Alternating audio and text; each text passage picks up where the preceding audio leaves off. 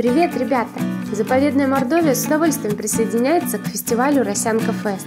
И сегодня мы проведем для вас викторину «Тайны мордовских болот». Ну что, готовы? Поехали!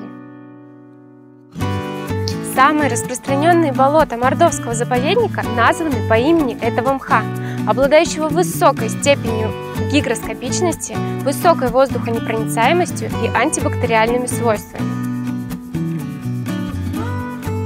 Наличие болота имеет большое значение для этих животных. Летом они кормятся водной растительностью, спасаются здесь от жары и гнуса, даже часто прячутся в воду по самую шею. Что же это за животные? Согласно одной из примет мордовского народа, 11 сентября эти птицы собираются на болоте уговор держать, каким путем дорогу на теплые воды лететь. Что это за птицы? На территории национального парка Смольный расположилась уникальная природная достопримечательность – озеро на болоте.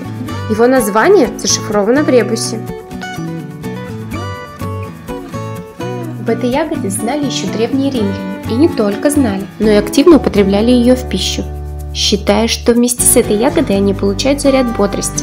В Англии же эту ягоду называют журавлиной, за то, что зависть ягод с лепестками похожа на голову журавля. Что же это за ягода? Многолетний папоротник, который получил свое название за схожесть листьев с перьями экзотической птицы. Этот мордовский мифический герой приносит дом богатства и достаток, не брезгуя порой и лихаимством.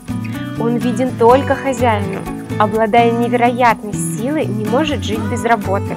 Не дашь ему занятия, так он все в хозяйстве порушит, а дашь – выполнит быстро и ловко. Он настырен, работу требует даже тогда, когда все выполнено и приложить руку не к чему. Чтобы избавиться от его притязаний, обычно ему поручают невыполнимое дело – вычерпать воду из болота или свить веревку из песка. Отгадайте мордовскую пословицу по принципу игры «Где логика?».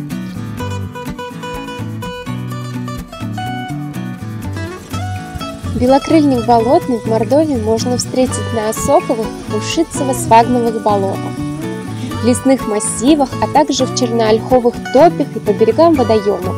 Русское название растение получило за окраску прицветного листа, который напоминает белоснежное крыло голубки или лебедя.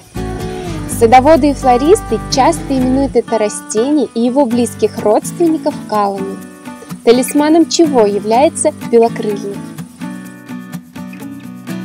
Русское родовое название подбел растение получило из-за белой окраски нижней стороны листа.